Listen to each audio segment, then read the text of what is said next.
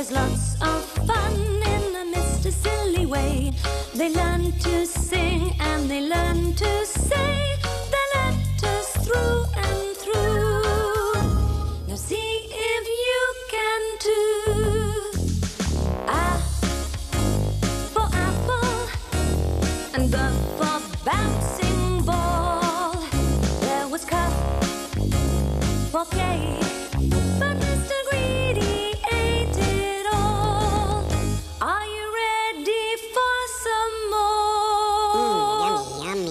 Not you. Duh